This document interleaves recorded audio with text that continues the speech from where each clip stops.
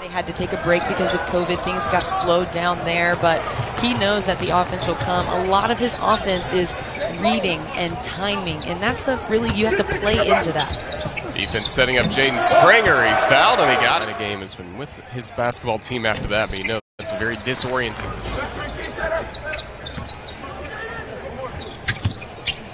And quickly to Springer, sets up the three, and the first few games.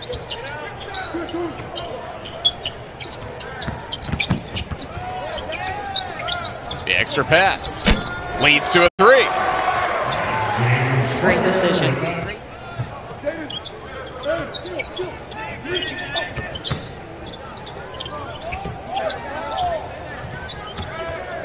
Santiago Vescovi.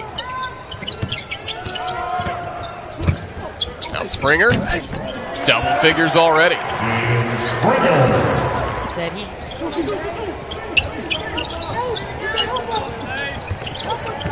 Jaden Springer already with 11 points finds Fulkerson. I like the way Harville. Really nowhere to go, and Tennessee turns him over.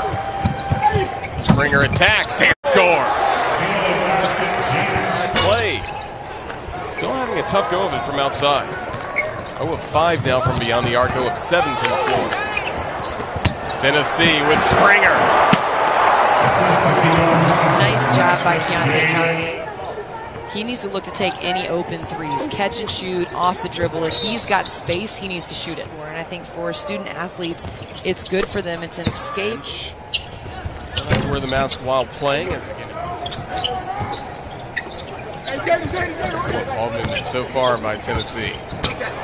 Right Comlo with a slam. I have known Junior Clay since he was probably 10 years old because of playing with his sister and to watch him grow. I mean, he's got so much skill. Coach Pelphrey talks about how he's a leader at two feet. They find each other.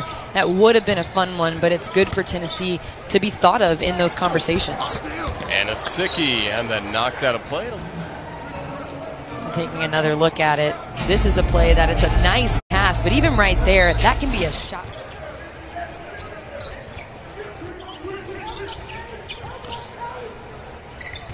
Bailey, the lefty.